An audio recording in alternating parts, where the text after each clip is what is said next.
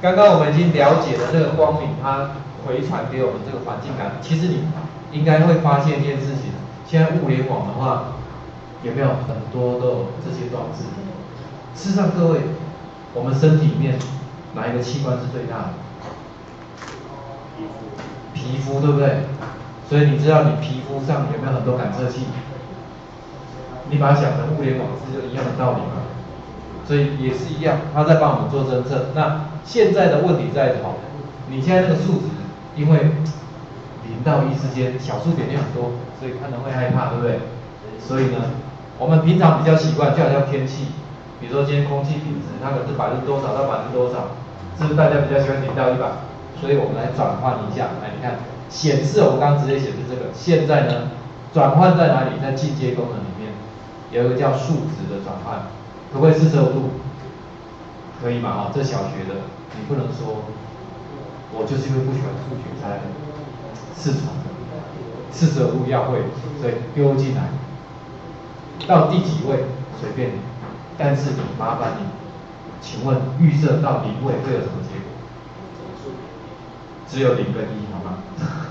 因为数值就在零跟一嘛，对不对？所以不要只用零位。来，我们先测试一下，这样有没有可爱一点呢？有。那但是我们要找它放大一下，放大一下。所以呢，我们再多做一件事情。数值转换里面第二个叫尺度转换。你们再看地图，可能是在右下或左下，会看到一个东西叫做比例尺。有没有？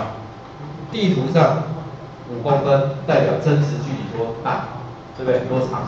这个就是一样的道理。你看我们的尺度转换，原始的是不是零到一？转换之后有没有变零到一百？你可以自己指定，好，可以自己指定。所以刚刚我已经转换四舍五入的这个内容，可不可以变成我的来源？零点五转换成零到一百是变五十，这样你。在看的时候就相对比较人性化一点，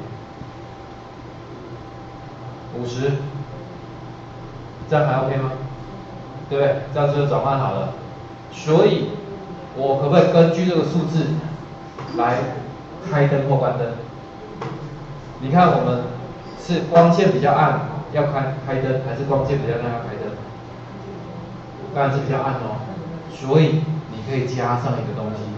逻辑判断，不要看到逻辑就好像很难，因为你平常讲话都在讲，如果你做了什么事情就，好，如果有什么条件，如果你这次成绩考得怎样，如果你这次科展，如果你这次那个参加比赛有得奖，学校就记，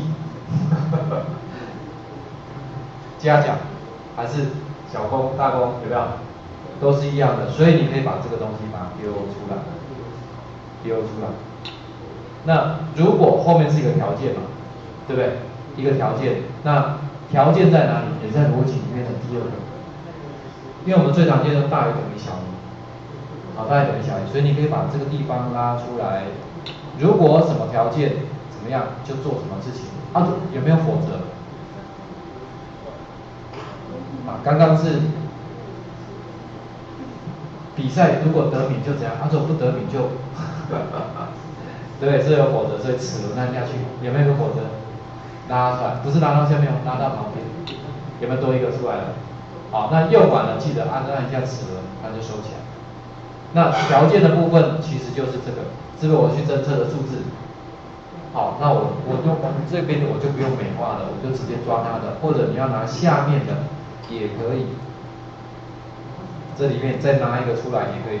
如果我光明侦测到的数值是零到一之间嘛，假设它比较暗的，就是光明的数值比较暗，小于假设零点三，那后面是一个数字。那数字的话呢，你可以借用上面的复制出来也可以，或者你到基本功能数学式有没有一个数字？这里也可以，你把它丢出来。假设我如果光明的数值在零点三。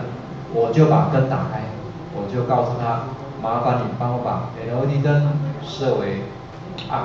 相反的，这个条件不成立，代表是什么？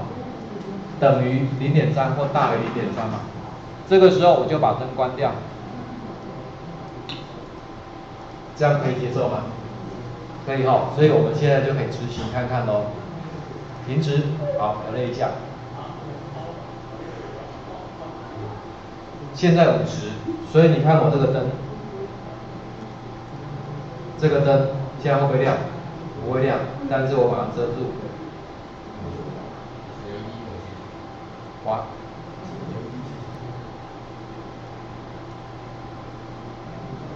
不理我了，确认一下。还是 LED 没有设定，没有设定掉。哦，谢谢谢谢。我刚 LED 把它删掉了，对不对？好，所以我这边这里这里 LED 都拉出来。当然你用三色也可以，如果你要用三色 LED 灯，你这边就把它设成什么不同的颜色，可不可以？也可以哈。所以我们在这边再排一下。好，我们来确认一下这里，现在四十八，我拉过来。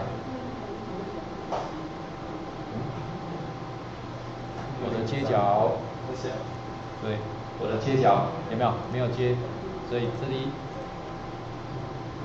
所以你看角位错的话，就不会是正确的。有没有亮起来？打开，这样 OK 吗？哦，所以其实我们可以利用这种方式，你可以做很多相对的动作，侦测到了，像我刚刚讲的。你盒子打开，你要开灯也好，你要播放一个音乐，我们有什么蜂鸣器？好，蜂鸣器也可以用。蜂鸣器就是各位，你看到你们那开发板里面，呃，那个盒子里面有一颗圆圆的那一颗，这一颗这个有没有？圆圆两只脚在这里，这个就是蜂鸣器。好，那就你也可以用它怎么样发出声音也可以。好，那我们早上就先上到这边哦，有没有问题？可以哈。